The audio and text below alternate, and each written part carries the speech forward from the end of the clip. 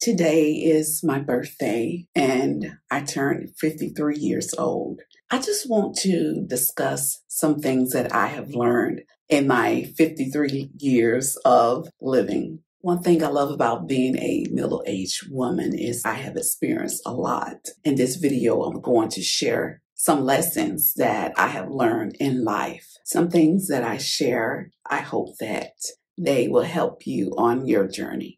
This is an old saying, but it is true. Life is short. Even though I'm 53 years old, it feels like just the other day that I was a teenager.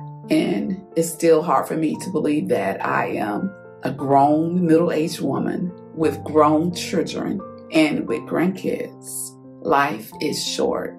So you want to learn how to enjoy every moment of your life and don't take it for granted. So now that I know that life is short, you don't want to focus on other people's shortcomings, especially family members. A lot of the stuff that irritate us about a certain family member. You don't realize it then, but a lot of things that we focus on that upset us is things that's petty, things that's not important. But if you pay attention to it enough, it can steal time and it can keep you upset with your loved ones.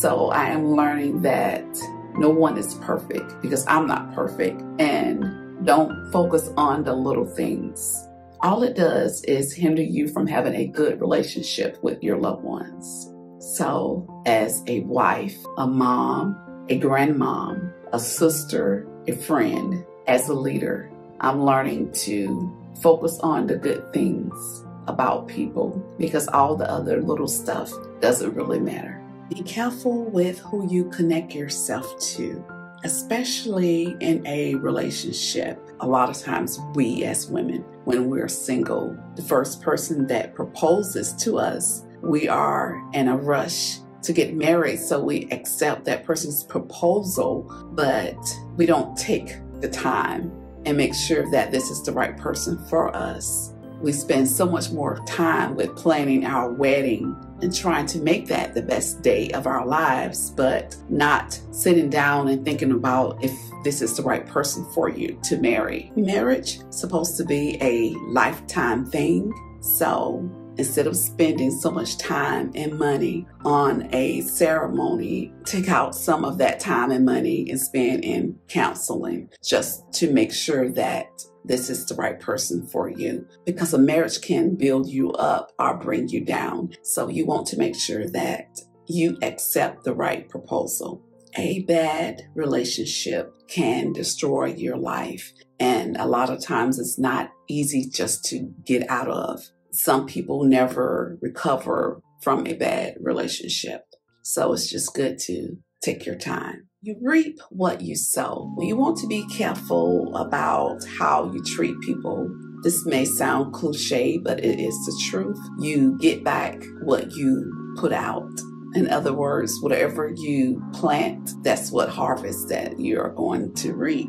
If you notice that in your life, if you always seem to get a lot of negativity, especially in your relationships with people, you want to make sure that you're not the cause of the conflict that you have in your life, that you are sowing good seeds.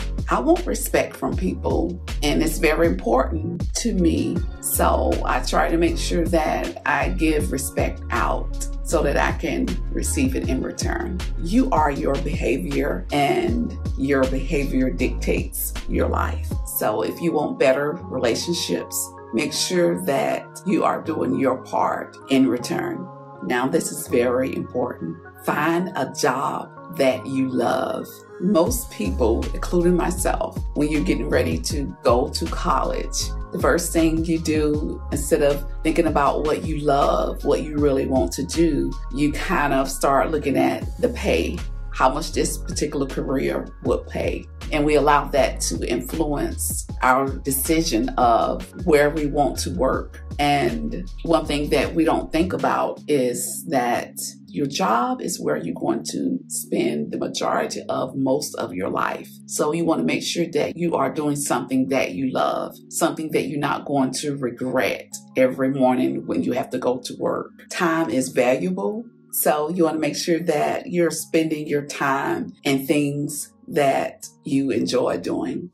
You will need God throughout your life. One of the best investments that I made with my life is having a good relationship with God. And I know that if I didn't have a good relationship with God, that I wouldn't be able to function now. And I know that the only reason why that I feel peace and that I am happy, it is because of me having a good relationship with God.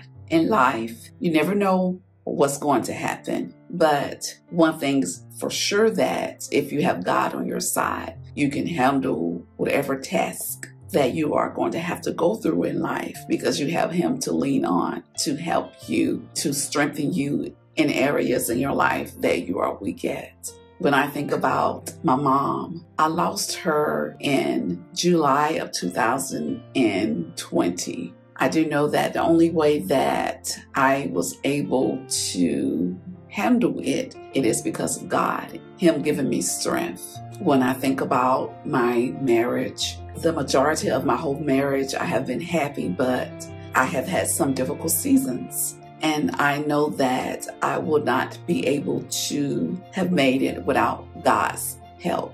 God has been so many things to me. And I know personally that when you feel like your heart is broken, He will mend a broken heart. When you lose close loved ones in your life and you feel that you can't make it, I know personally that if you just lean on God for strength, that He will carry you through. And I will tell anyone that the best thing that you can do with your life, and that is to develop a good relationship with God. Embrace self development. Self development was a game changer for me. I had a huge issue with self doubt, low self esteem, and every so often God would speak to me about certain things that He wanted me to do. I wasn't able to accomplish those things because I was afraid. I felt that I didn't have what it took. So when I started working on myself and started doing things that frightened me, that's when God freed me. And I would not have ever been able to do what I do now if it wasn't for me realizing that I had a problem. So if you suffer with any type of self doubt, low self esteem, you want to work on that because if not, it will hinder you. You won't be able to accomplish what God has called you to do because you will be too afraid. It took me a long time to realize that I was my worst enemy I was nice to everybody else but myself. Self talk and what you believe about yourself, it does hinder you in life. So you have to be careful about the way that you think and talk to yourself because it will manifest in your behavior and it will also be a huge hindrance. And you won't be able to do what God has called you to do because of self doubt. So I want to encourage you to believe in yourself, to love yourself, and know that you are capable. Just do it. If God put something in your heart, just do it. Don't worry about the skills or the money that you don't have. Whatever you need, if you start doing what God has called you to do or that He has put into your spirit of doing, He will handle the rest. All you have to do is be obedient and step out on faith. I have a question for you. What have you have experienced in life that has changed the way that you think or feel or who you are? Please share it in the comment section below. If you enjoyed this video and you just want to support me, support me by subscribing and also share this video with a friend. Thank you for joining and make sure to stay tuned for the next upload. Bye.